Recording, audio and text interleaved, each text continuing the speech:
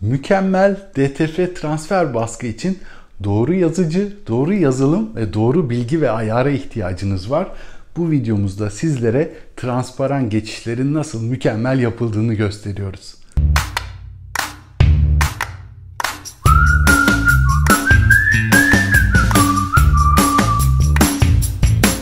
Herkese merhaba ben Selim Coşarcan. Yeni bir Printek Online videomuza hoş geldiniz. Uzun bir karantina arasından sonra yüksek enerjiyle tekrar beraberiz. Size çok güzel iki video hazırladık. Ee, bunu seri olarak iki farklı video olarak ardarda arda yayınlayacağız. Konumuz ise doğru DTF baskısı. Biliyorsunuz bu çok yeni bir teknoloji. Ee, daha bizler, tedarikçiler de dahil her şeyini bilmiyoruz ama biz sizin için ciddi araştırmalar, kurcalamalar, denemeler yaptık. Ee, iki ayrı video demiştim. Birinde şunların farkını ele alacağız. Bu doğru baskı nasıl yapılır göstereceğiz. İkincisinde de bu hatta bir iPhone'un portre fotoğraf çekimi. Ben kendim çekmiştim. iPhone 10, 10s, 11, 12, 13 bütün bu serilerin portre fotoğraf özelliği var. Ama bunu ikinci videoda anlatacağım. Çok güzel, değişik bir şey olduğu için bir sonraki videonun ön izlemesi gibi oldu size. Bugünkü konumuzsa bu baskı değil de bu baskıyı nasıl alacağınız. Birazcık çok fazla olmadan detaya gireceğim. İlk DTF tanıtım videomuzda da bahsettiğimiz üzere biraz bu işi bilmeniz gerek. Google'dan indir bas çıksın olmuyor. E, bu üst level zaten yani normal bir fotoğraf, keskin hatlar vesaire basarken bu kadar bilgiye veya ekstra yazılıma ihtiyacınız yok. Ama şu beyaz çerçeveleri istemiyorsanız degrade, transpan, transparandan yarı transparana oradan opa geçişleri şu şekilde doğru basmak istiyorsanız herhangi bir yazıcı, herhangi bir yazılım olmuyor.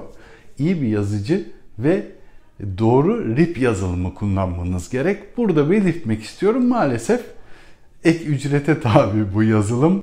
Kanadalı Cadling firmasının Digital Factory diye farklı bir RIP yazılımı var. DTF, DTG, UV bunların hepsinde kullanılabiliyor. Muazzam bir yazılım. Biz de satmaya başladık ama birazcık tuzlu. Ama yapabildiklerini size gösterelim. Kararı siz verin. İşleme görseli buraya koyarak başlayalım. Bu normal ücretsiz fotoğraf editörü GIMP'in e, ekranı arka arası bu kare kare fon olduğunda transparan alanları görebiliyorsunuz. Şunun üzerinde göstereyim. Bu beyaz beyaz taşmaların olduğu yerler çok veya decrease ayarıyla kenardan girmeyle düzeltilebilecek bir şey değil. Çünkü onlar yarı transparan alanlar. Gördüğünüz üzere arkadan o kareleri zaten seçebiliyorsunuz. AcroRip transparan alfa kanalını düzgün bir şekilde desteklemiyor. Orada ayar yapamıyorsunuz. Fakat Digital Factory'de alfa kanalına özel beyaz basma seçeneğiniz var.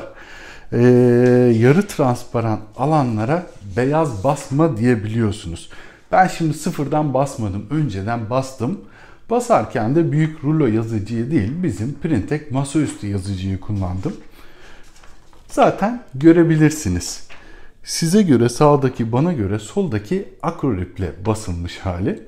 Tabii ki Digital Factory'de de böyle basabiliyorsunuz. Hatta ayar yapmayı bilmiyorsanız böyle çıkıyor. Ayarı doğru yaptığınızda ise alfa kanalını kullanarak bu arada sizin alfa kanalına müdahale etmeniz gerek değil. Yani çok detaylı bilgiye gerek yok. Hazır profilleri var. Onları kullanarak bu şekilde yarı transparan alanların, degrade geçişlerin üzerine beyaz basmadan çıktı alabiliyorsunuz. Bütün püf noktası burada. Ee, bunları da şimdi presi ısıttım. Beraber tekrar bir basar canlı sonucunda görürüz. Bu işlemi yaptıktan sonra e, masaüstü DTF yazısı çıktısıydı. Elle tozladım, fırınladım. Bunları direkt atlıyorum. Nasıl yapılır merak ederseniz size göre sağ üst köşeye e, bununla alakalı videonun bağlantısını da ekledim. Gelin isterseniz kumaşın üzerine baskıyı yapalım. Kumaşımızı getirdim ben. %100 penye bir kumaş ama biliyorsunuz DTF zaten her şeye basıyor. İlk önce bir kırışıklıklarını alalım.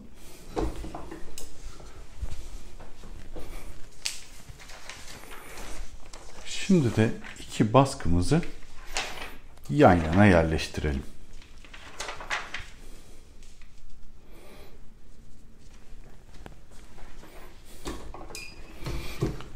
10 saniye orta basınçta 3 barda pres diyorum. Ayarım 155 derece.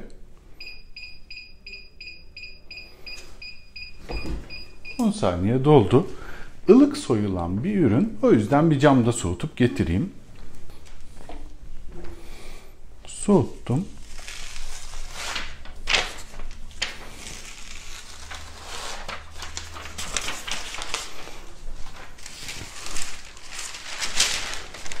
Son olarak bir de fiksajını yapalım.